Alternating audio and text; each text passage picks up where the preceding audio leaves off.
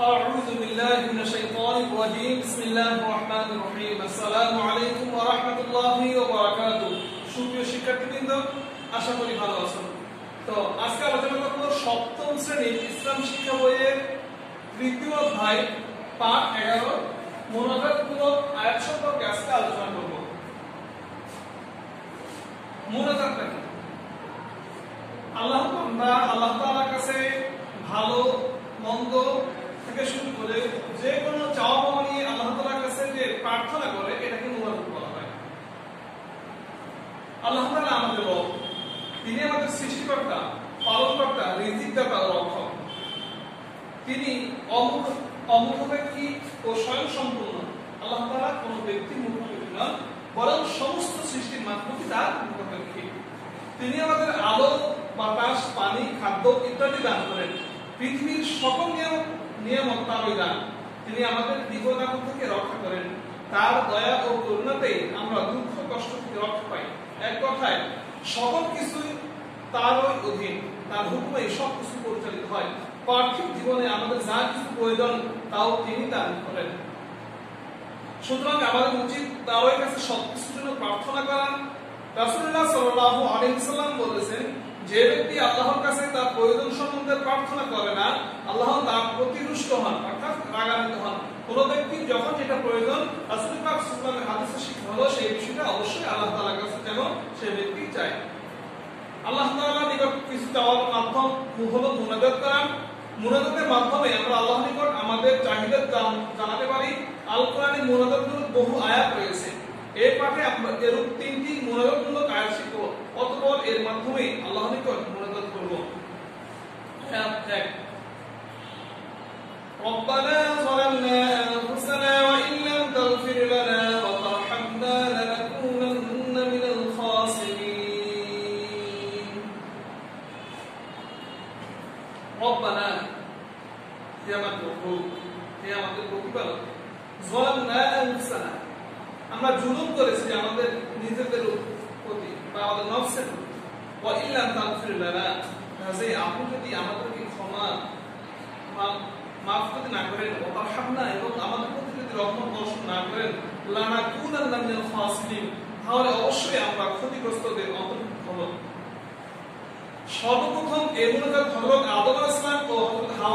করেছিলেন। আল্লাহ ও হাওয়া আলাইহিস সৃষ্টি করে জান্নাতে বসবাস করার নির্দেশ দেন। জান্নাতে আল্লাহ তাআলা তাদেরকে সকল নিয়ামত ভোগ করার অনুমতি দেন। শুধু একটি নির্দিষ্ট গাছের নিকটবর্তী হতে নিষেধ করেন, কিন্তু আদম আলাইহিস সালাম ও হাওয়া আলাইহিস শয়তানের প্ররোচনায় ওই নিষিদ্ধ গাছের ফল খেয়ে ফেলেন। তাদের এই কাজের জন্য মহান আল্লাহ বেহেশত থেকে দুনিয়াতে পাঠিয়ে দেন। দুনিয়াতে এসে আদম আলাইহিস সালাম ও হাওয়া আলাইহিস তাদের ভুল বুঝতে পারেন। তারা আল্লাহর নিকট ক্ষমা প্রার্থনা করে কান্নাকাটি করতে থাকেন। পরিশেষে আল্লাহ তাআলা দয়া পরবশ হয়ে তাদের উপযুক্ত মোনাজাত শিক্ষা দেন। অতঃপর হযরত আদম আলাইহিস সালাম মাধ্যমে ক্ষমা প্রার্থনা করেন। পরে আল্লাহ তাদের দোয়া কবুল করেন এবং ক্ষমা করে দেন।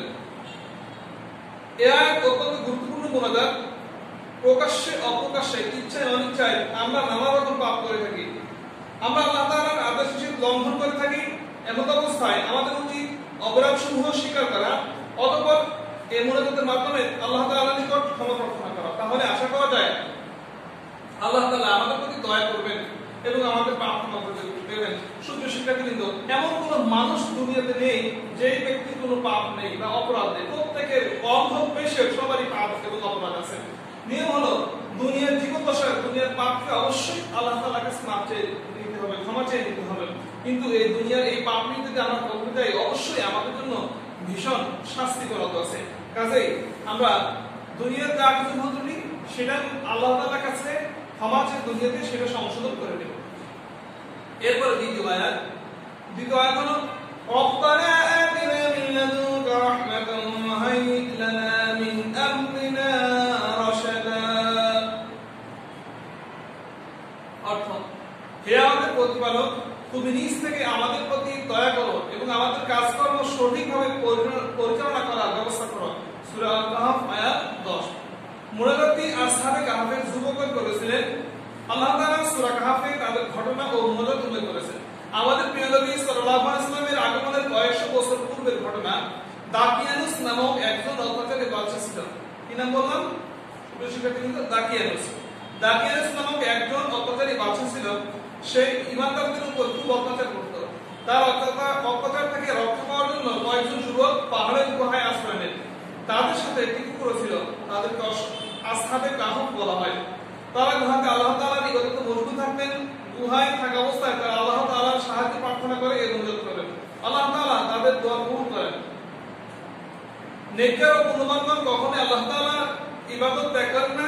শত অত্যাচারের, অত্যাচারেও তারা যথাযথভাবে মহান আল্লাহ তাআলার ইবাদতে মজবুত থাকেন। এই জন্য প্রয়োজন, প্রয়োজনে নিজেদের ঘর বাড়ি দেশ ত্যাগ করতে পিছু পাবেন না। আমরাও তাদের মতো আল্লাহ তাআলার ইবাদত করব। কোন অবস্থাতেই আল্লাহ তাআলার ইবাদত ছাড়বো না। বরং কোন অসুবিধা দেখা দিলে আল্লাহ তাআলার নিকট সাহায্য প্রার্থনা করব।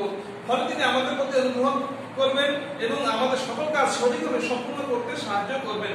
সুপ্রিয় শিক্ষার্থীবৃন্দ, একজন মুসলমানের উচিত হলো, সুখে দুঃখে সব অবস্থায় আল্লাহ তাআলা সাহায্য প্রার্থী হওয়া বিশেষ করে সারা বিশ্বে বৈশ্বিক করোনা মহামারী চলতেছে। এই থেকে আমরা পরিত্রাণ পাওয়ার জন্য হ্যান্ড ওয়াশ থেকে শুরু করে মাস্ক ব্যবহার করতেছি, তারপরে হাতের গ্লাভস ব্যবহার করতেছি পিপি লাভ করতেছি।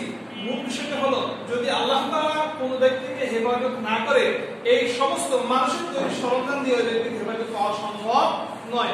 আর যদি আল্লাহ হেফাজত করে, তাকে কেউ কেউ ক্ষতিগ্রস্ত করতে পারে না। এটা হচ্ছে মূল বিষয়। যে আল্লাহ তাআলা হেফাজত করে, তাকে কেউ ক্ষতি করতে পারে না, আবার যার হেফাজত আল্লাহ করতে পারে না, করে না, তার রক্ষা কেউ করতে পারে না। কাজে আমাদের উচিত হবে এই বৈশ্বিক এই মহামারী থেকে অবশ্যই আমরা সতর্ক থাকব, তারপরেও যেহেতু আল্লাহ তাআলার ইচ্ছাধীন সমস্ত কিছু পরিচালিত হয় আল্লাহ তাআলার কাছে আমরা সাহায্য সহযোগিতা করতে হবে ইনশাআল্লাহ এখন সবাই যদি দোয়া করা যায় অবশ্যই আল্লাহ তাআলা আমাদের দোয়াকে কবুল করে নেবেন এরপরে আয়াতটি ربنا عليك توكلنا وإليك أنبنا وإليك المصير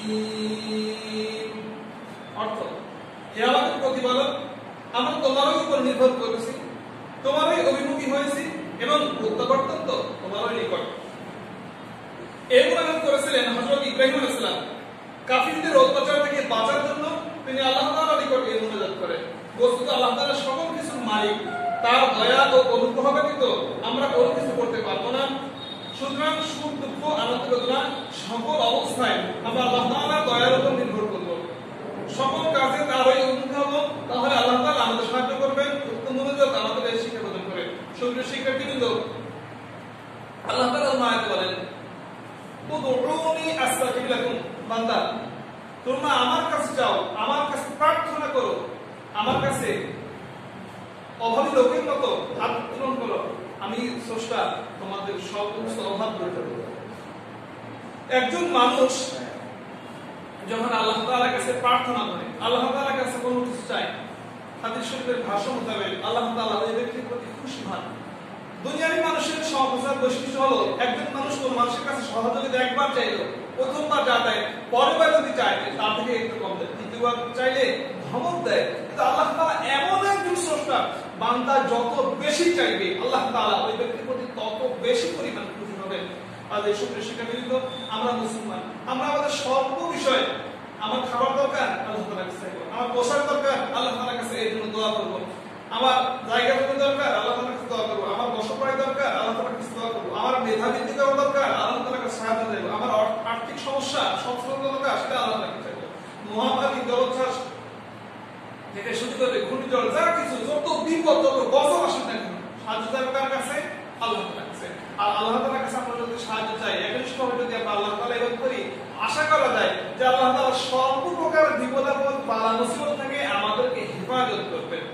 কারণ